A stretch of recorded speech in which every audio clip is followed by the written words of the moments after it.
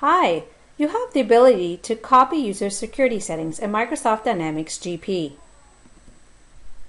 Let's select User.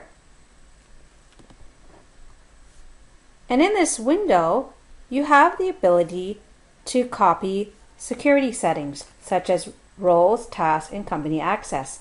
So for example, if you hire a new accounting manager, you can copy the security settings from the existing accounting manager instead of manually specifying the security settings. If the new accounting manager is transferring from another position in your company, copying replaces any existing security settings for the user you are copying to. You notice a little button says Copy Access.